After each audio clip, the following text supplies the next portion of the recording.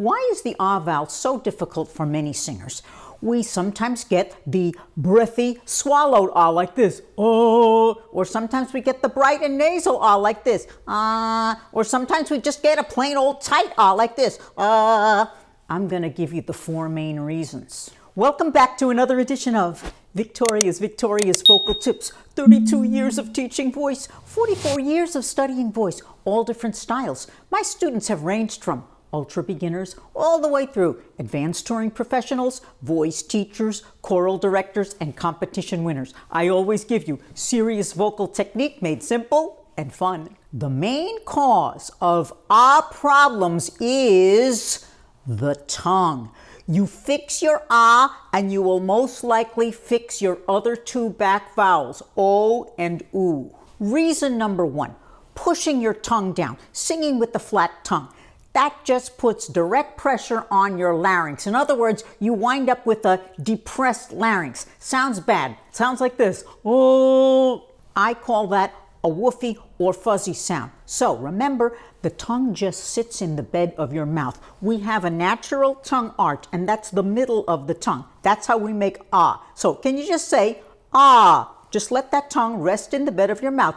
Tip of the tongue either behind your bottom front teeth or on the gum slightly below. People's tongues are different sizes, right? But just say ah. There you go. Ah, sing.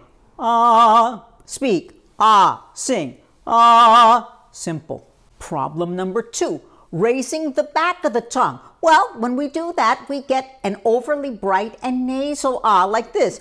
Ah, Remember, we want that tongue hump in the middle. Ah, uh, not ah. Uh. Reason number three, and this is one that's not very obvious to a lot of singers, but allowing the tongue to narrow. Remember, we want to sing with a wide tongue. Imagine the back of your tongue spilling over your back molar. So we want. Uh. Now here's a narrow tongue, and it's really hard for me to do. I got to think about this.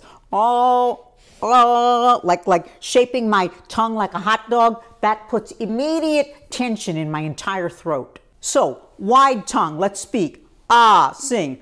Ah. Fourth reason, pulling the tongue back. Oh, what does that do? Well, it blocks off the back of the throat. I often joke and say it sounds like your throat is stuffed up with toilet paper. So let's speak ah again and remember you want a forward tongue. Ah, sing ah. You could do it up high. Speak. Ah, sing. Ah. Great. We sing on vowels. The vowel carries the tone, and all good singers are very vowel conscious. So if you need more help, make sure to see my playlist on vowels. I'll enclose the link in the description box below. Now, in my audio exercise training program, Victoria's Victorious Vocal Exercise Program, we have a big section on vowels and vowel problems. So if you still haven't gotten it, I highly recommend that you do so right away. I have tons of technique that will last you for a long time. Uh, we have exercises for style. Remember, this is for all different voice types and super affordable. Plus,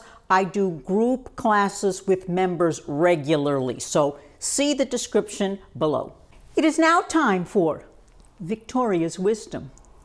A free ah vowel requires a free tongue for a balanced and beautiful tone. I hope you have enjoyed another edition of Victoria's Victorious Vocal Tips. Don't forget to subscribe, tell your friends, leave me some comments, leave me some thumbs up. Don't forget to follow me on social media and Continue working on your beautiful ah vowels and all your vowels. And I look forward to seeing everyone again very soon.